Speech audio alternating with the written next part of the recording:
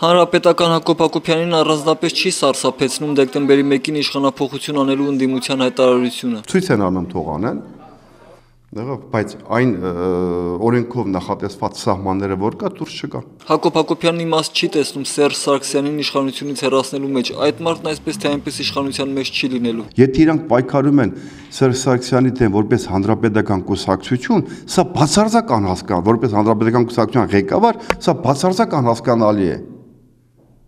Բացարձակ դուք ունեք ձեր կուսակցությունը, ունեք ձեր կուսակցության ղեկավարը, կա հանրապետական կուսակցություն, որը ունի ղեկավարը։ Դուք